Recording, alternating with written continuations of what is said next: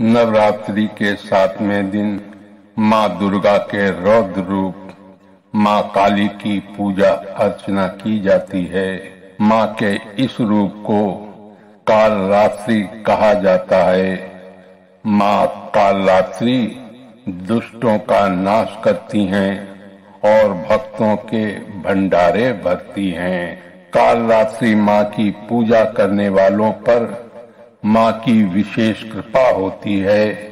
धार्मिक मान्यता है कि देवी काल रात्रि अज्ञानता का नाश करती हैं और जीवन को रोशनी से भरती हैं। दानव, दैत्य, राक्षस, भूत, प्रेत आदि इनका नाम जपते ही भाग जाते हैं। देवी माँ काली रात के स्वरूप की बात करें तो इनके चार हाथ हैं, इनके एक हाथ में तलवार, दूसरे में लोह शस्त्र है। वहीं तीसरा हाथ बर मुद्रा में है और चौथा हाथ अभय मुद्रा में है। माँ, काल रात्रि का वाहन गधा है? माँ की पूजा करने से सभी दुख दूर हो जाते हैं।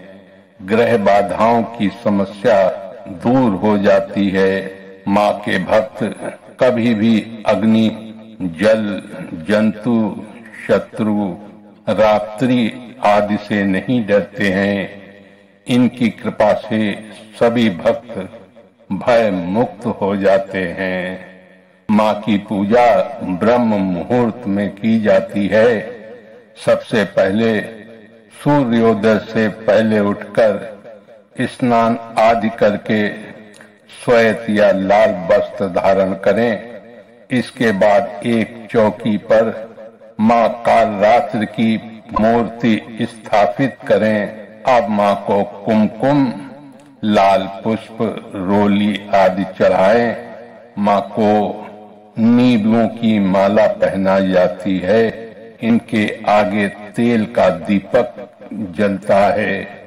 माँ के नेत्रों का जाप करें, माँ के मंत्रों का जाप करें, या सप्तशती का पाठ करें, माँ की कथा सुनने के बाद आरती करें, उन्हें काली मिर्च, तृष्णा, तुलसी या काले चने का भोग लगाएँ। बोलिए माँ कालरात्रि की।